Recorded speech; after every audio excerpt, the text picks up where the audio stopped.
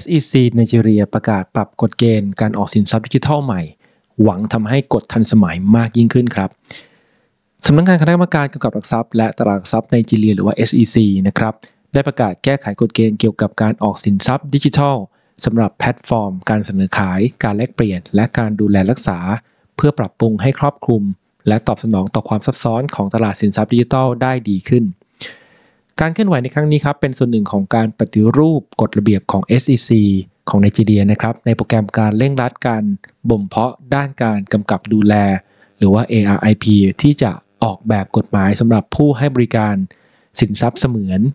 VASP และเสนอแนวทางให้หน่วยงานปฏิบัติตามข้อกำหนดเอาไว้นะครับ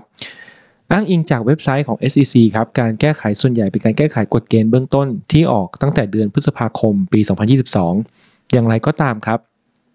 รัฐบาลไนจีเรีย และก็หน่วยงานกำกับดูแลเนี่ยต้องการที่จะทำให้แพลตฟอร์มมีความโปร่งใสมากขึ้น แทนที่จะบังคับใช้นะฮะในการปราบปราม แล้วก็ด้วยมุมมองของรัฐบาลที่เป็นเชิงบวกครับทำให้ไนจีเรียได้ก้าวขึ้นมาเป็นหนึ่งในเศรษฐกิจคริปโต ที่เติบโตเร็วที่สุดในช่วงไม่กี่ปีที่ผ่านมานะครับโดยในปี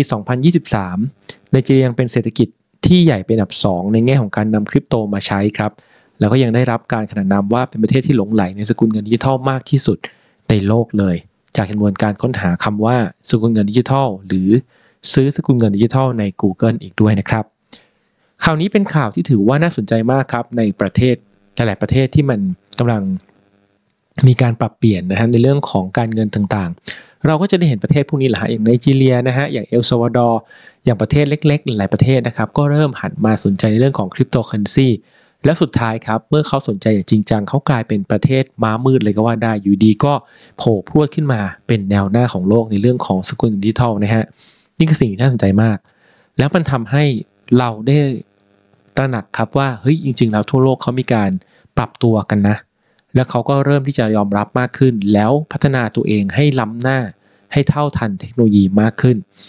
สิ่งหนึ่งที่ประเทศเหล่านี้จะได้รับก็คือโอกาสครับในการที่จะพลิกขึ้นมาเป็นประเทศที่เป็นชั้นนำได้ในอนาคต ประเทศที่พัฒนาไปเรียบร้อยแล้วเรียบเรียบร้อยล่วงหน้าไปแล้วด้วยนะครับคราวนี้เนี่ยกลับมาที่คำถามของประเทศเราบ้าง แล้วประเทศไทยล่ะครับ เรามีการเตรียมตัวอย่างไร และมีการปรับตัวอย่างไร เราเตรียมพร้อมแค่ไหนครับสำหรับเศรษฐกิจดิจิทัลในอนาคต หรือว่าเรื่องของสกุลเงินดิจิทัล ที่มันอาจจะต้องเอามานำมาใช้จริง ๆ ในอนาคตได้ผมว่าเรื่องนี้น่าเป็นห่วงมากสำหรับสังคมไทยสำหรับคนไทยสำหรับประเทศไทย เพราะว่าเปอร์เซ็นต์ของคนที่สนใจในเรื่องนี้ในประเทศไทยน้อยมากๆครับ น้อยจนน่าเป็นห่วง น้อยจนน่าตกใจที่สำคัญน้อยไม่พอนะฮะ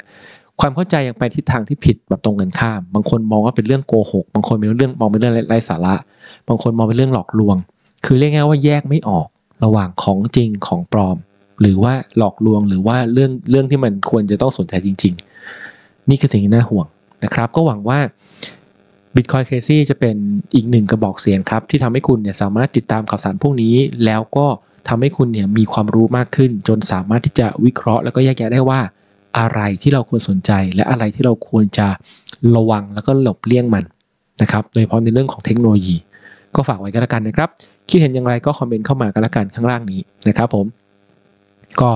ฝากติดตาม Bitcoin c a s e ด้วยนะครับ ทุกวัน8โมงเช้าตามเวลาประเทศไทยครับ ที่ Thai Town Channel นะครับ content ดีๆของไทยทั่วโลก เพราะทุกที่มีคนไทยครับผม support กันง่ายๆครับ กด subscribe ช่องนี้กดไลค์กดแชร์คลิปที่คุณสนใจเลยเพราะคลิปนี้นะครับให้เพื่อนๆได้ดูไปด้วยกันนะครับ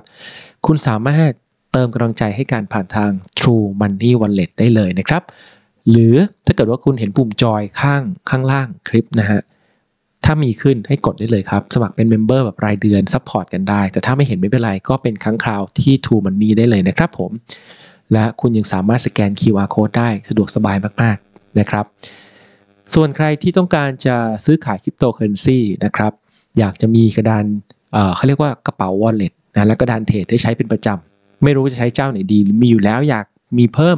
ผมแนะนำ Bybit นะครับ Bybit คือ 1 ใน 5 ผู้ให้บริการที่ได้รับความยอมรับได้รับการใช้งานมากที่สุดในโลกตอนนี้นะครับ ใช้งานง่ายมีเหรียญให้เลือกมากมายปลอดภัยนะครับ แล้วก็อีกอย่างคือมันมี reward มีกิจกรรมต่างๆ มากมายให้ด้วยนะครับ ถ้าคุณอยากสมัครแล้วได้รีวอร์ดสิทธิพิเศษ ส่วนลดต่างๆ คุณสมัครผ่านลิงก์ที่ผมให้ไว้ใต้คลิปนี้นะครับ เลื่อนลงไปได้เลย หรือ ถ้าดูที่หน้าจออยู่แล้วคุณเห็น QR code ไหมฮะข้างบนนี้นะเขียนว่า Bybit คุณสแกนได้เลยนะฮะคุณสมัครได้เลยทันทีนะครับรับรองว่ารวดเร็วแน่นอนนะครับ วันนี้ Bitcoin Casey ลาไปก่อนเจอกันใหม่วันพรุ่งนี้ครับ สวัสดีครับ